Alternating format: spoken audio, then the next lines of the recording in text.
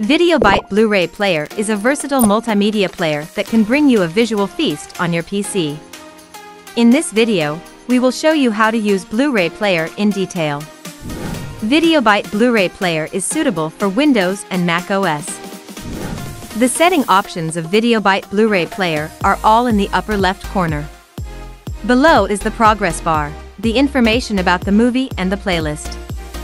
If you have subscribed, and need to fill in the registration code and email, you can click Help and enter Register to fill in. Next, let's see how to play Blu-ray discs through VideoByte Blu-ray Player. The main interface of the software has two buttons for opening files. Open File is generally applicable to the DVD you burn yourself. Open Disc can be applied to most of the recorded discs, and the software can automatically identify the files. You can also load files from File in the upper left corner. Now we click Open Disk, then select the disk and click OK. If your movie has a menu, it will automatically show up after loading.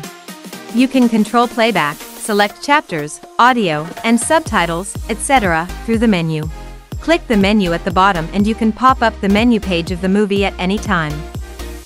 For those movies without a menu, if you want to control the playback, please click the Controls button on the upper left, where you can choose whether to display the menu, the titles and chapters, the forward or backward of the movie, the volume up or down, etc.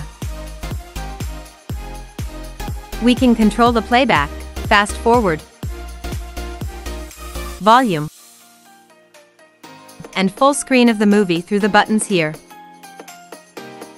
If there is an exciting moment you want to keep, just click the snapshot button to take a screenshot. When you want to stop the movie, click the eject disc button. The next time you watch the same movie, it will automatically continue from where you left off. Besides Blu-ray and DVD, we also support general video playback. Select the video you want to play, then click Open. The software will start loading the video. When playing the video, you can control playback and take snapshots just like playing DVD or Blu-ray. You can refer to the steps above. You can click audio to switch the audio track and audio device at any time. In video, you can choose video track, subtitle track, screen size, deinterlace, etc. If you need to do more settings, please go to Tools and click Preferences. Here you can change the format and folder of the snapshot. The way of hard accelerated decoding, audio pass-through, etc. In effect, you can also adjust the contrast, brightness, etc. of the video. This is all about VideoByte Blu-ray player.